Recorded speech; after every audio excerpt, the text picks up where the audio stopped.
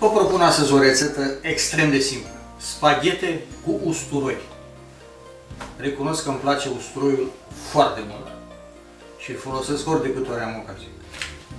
Voi folosi astăzi spaghete de orez. Spaghetele de orez au unele avantaje față de cele de grâu și anume faptul că nu conțin gluten. Deci cei care au intoleranță la gluten, dar care iubesc pastele, se pot totuși delecta cu niște paste, cele de orez.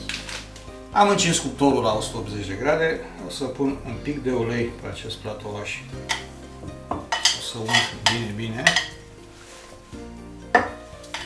Și așez pe el căpățâna de usturoi.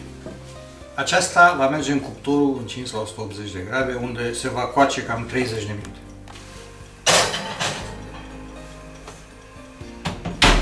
Am pus apă pe foc să dea în clocot, multă apă, și o să o săresc din belșug.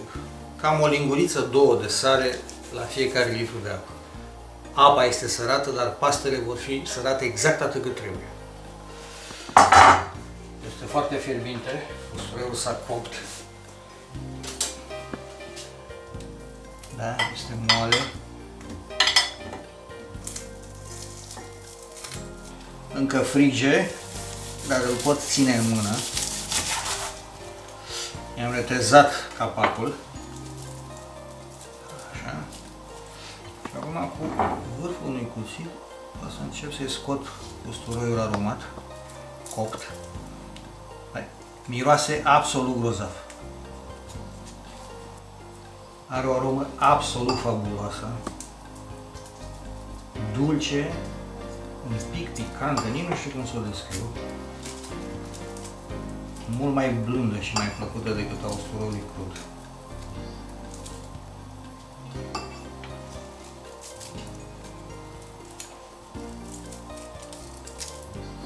Să pregătim sosul pentru paste.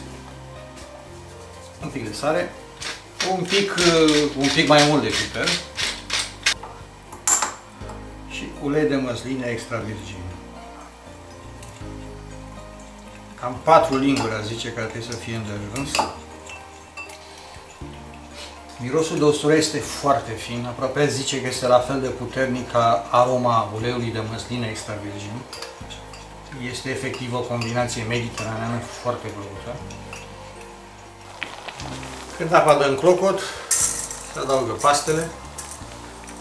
Am pus cam 100 de grame, adică să zicem o porție așa mai zdravă, nu?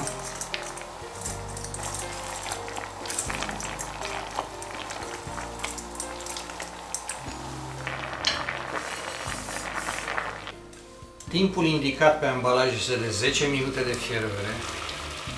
Eu vă sfătuiesc să le fierbeți 8 sau 9 minute, pentru că se vor mai găti un minut, două în tigare. Foc mic.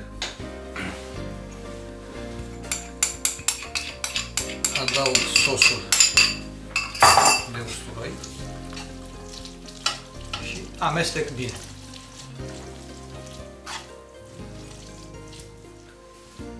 Adaug și parmezan, un pic de piper negru,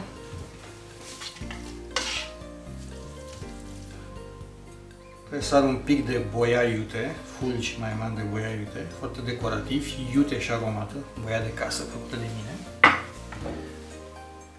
Și câțiva cârlionți de parmezan. Care se topesc încet încet datorită căldurii. Spaghete cu usturoi, o rețetă extrem de simplă, gustoasă și aromată, cu dedicație pentru iubitorii usturoiului.